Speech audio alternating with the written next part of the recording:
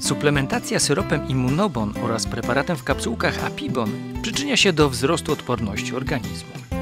Immunobon zawiera bowiem naturalny miód połączony z ekstraktami z jeżówki purpurowej, melisy, rumianku i róży. Apibon to połączenie ekstraktu propolisu i mikronizatu pyłku pszczelego. Składniki obu preparatów wspomagają odporność swoistą i nieswoistą organizmu oraz działają przeciwwirusowo, przeciwbakteryjnie i przeciwgrzybicznie.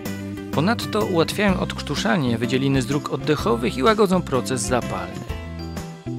Syrop Immunobon oraz preparat w kapsułkach Apibon to skuteczne wspieranie odporności każdego organizmu.